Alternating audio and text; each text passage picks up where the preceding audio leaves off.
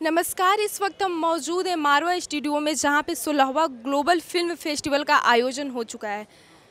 ये लगातार तीन दिनों तक चलेगा, इसमें seminar workshop book release musical and passion show होगा। तो आइए हम लोगों से जानते हैं कि क्या उनका एक्साइटमेंट है इस फेस्टिवल को लेकर। हेलो हेलो आप अपना नाम बताइए। हाँ मेरा नाम त्रिशता रॉय है from masters in public relation and events okay? तो कैसा आपको लग रहा है ग्लोबल फ़िल्म फेस्टिवल का हिस्सा बनकर? वेल ये मुझे काफ़ी अच्छा लग रहा है क्योंकि ये मेरा फ़र्स्ट एक्सपीरियंस है और ये मेरा फ़र्स्ट टाइम है। तो काफ़ी चीज़ें सीखने को मिल रहा है जैसे फिल्म्स अच्छे आ रहे हैं इंटरनेशनल फिल्म्स हो रही है वेनेजुएला का ईरान का तो मुझे काफ़ी अच्छा महसूस हो रहा है इनके फिल्म्स देखने के बाद। अच्छा फ़र्स्ट सेमेस्टर है आपका तो क्या कुछ नया देखने को मिल रहा है आपको फ़िल्म फेस्टिवल में? फ़िल्म फेस्टिवल में मुझे सबसे जो अच्छा लगा कि यहाँ इंटरनेशनल डायरेक्टर से कंट्रीब्यूशन इंडिया की तरफ़ काफ़ी अच्छा है उनके रिलेशंस काफ़ी अच्छे हैं। तो आगे जाके कि अगर हम फिल्म्स बनाते हैं कंट्रीब्यूट करते हैं तो हमारे लिए वो बेनिफिशियल रहेगा तो स्टूडेंट्स तो एक्सपोजर अच्छी है। आपका नाम? जूही कुमारी। ओके कैसा लगा आपको सोलहवा फ़िल्म फेस्टिवल में भाग लेकर? मैंने पहली बार इसमें परफॉर्म करा तो मुझे बहुत अच्छा लगा। ऑडियंस बहुत इंटरैक्टिव थी। सर ने भी बहुत तारीफ़ करी तो बहुत ज़्यादा मोटिवेशन फील हुई।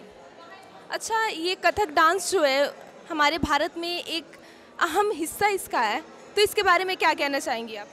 हाँ जी, मैं मानती हूँ कथक और कोई भी क्लासिकल डांस फॉर्म का बहुत महत्वपूर्ण हिस्सा है इंडिया की कल्चर को आगे बढ़ाने में और संस्कृति को आगे बढ़ाने में, इस चीज़ को इंटैक्ट रखने में इन दी सोसाइटी और सबसे बड़ी चीज़ जो मुझे लगती है कि गुरु शिष्य परंपरा इज़ वेरी इंपॉर्टेंट जो आज की यूथ भूल जाती है कभी कभी so I think through classical dance form ये चीज़ आगे बढ़ रही है और मैं चाहती हूँ कि ये चीज़ बहुत सारे लोगों तक पहुँचे, आज के यूथ तक पहुँचे कि गुरु शिष्य परंपरा अपने गुरु को रिस्पेक्ट करना is so important and also तो मैं चाह, मैं यही चीज़ सोचती हूँ कि ये डांस फॉर्म इस चीज़ को आगे बढ़ा रही है कोई भी क्लासिकल डांस फॉर्म इस चीज़ को आगे बढ़ा रही है और इसके अलावा तो आर्ट आगे बढ़ ही रही है हमारी संस्कृति आगे बढ़ ही रही है तो ये बहुत अच्छी बात है। हेलो हेलो क्या नाम है आपका? मान्या गर्ग। ओके तो कैसा लग रहा है आपको इस फ़िल्म फेस्टिवल का हिस्सा बन के बहुत अच्छा लग रहा है। I am a volunteer student so मज़ा आ रहा है बहुत इन्जॉय हो रहा है।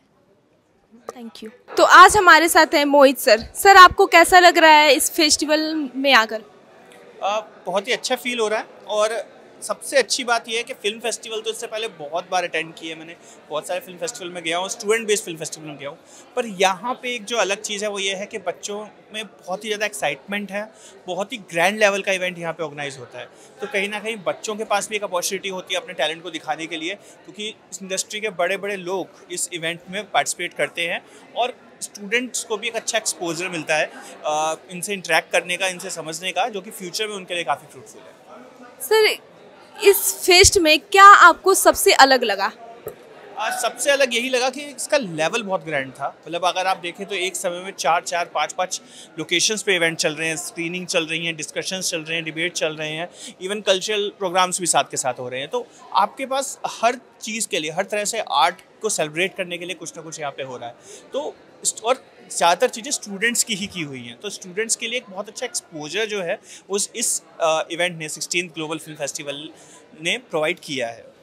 सर आप आफ्ट के छात्र छात्राओं को क्या कहना चाहेंगे? ए एफ़ टी के स्टूडेंट्स को मैं यही कहना चाहूँगा कि इस तरह की अपॉर्चुनिटीज़ का पूरा फ़ायदा उठाएँ और ऐसे इवेंट में पार्टिसिपेट करके अपने आप को एक बेटर फ्यूचर की तरफ़ लेके जाएँ।